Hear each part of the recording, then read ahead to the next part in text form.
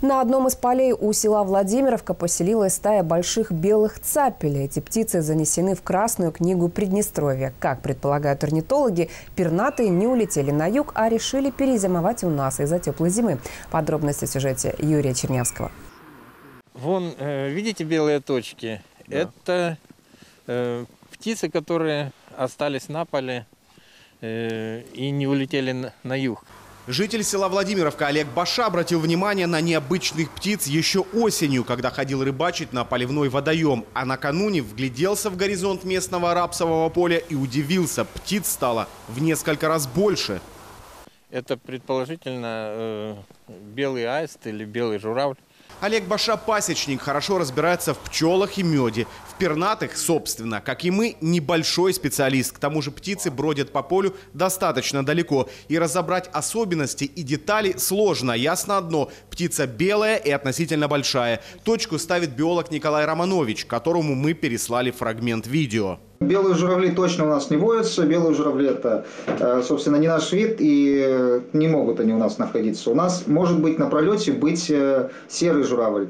Но это также не эта птица, это получается у нас э, белая цапля, большая белая цапля, которая у нас на зимовке бывает останавливается.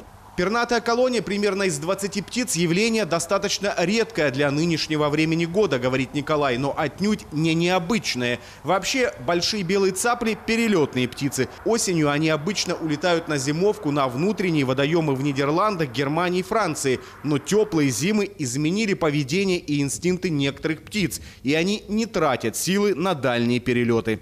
Раньше у нас э, все виды цапель были исключительно перелетные. А, ну, естественно, э, продолжительные теплые периоды, в которые не замерзают водоемы, в последнее время сейчас повторяются чаще. И цапли у нас могут вполне себя комфортно как бы чувствовать круглый год, и небольшая часть остается зимой в районах незамерзающих водоемах или вот так вот на полях, если они не покрыты снегом и если цапли могут находить себе какое-то пропитание. В основном меню этих птиц – рыба, лягушки и крупные насекомые. Именно это и смутило сельчанина. В рапсовом поле такой еды явно нет. Растительную пищу цапли не едят. Я как бы переживаю за этих птиц, которые ну, в поле остались без водоема и без пищи.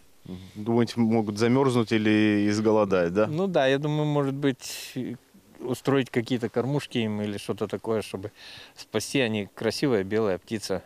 Скорее всего, цапли облюбовали рапсовое поле, чтобы перекусить грызунами. Потом птицы слетают к Днестру или другому ближайшему водоему, а ночевать будут на деревьях. Как говорят орнитологи, если зимы и дальше будут теплыми, то ареал обитания цапель может заметно расшириться, и мы будем видеть их чаще.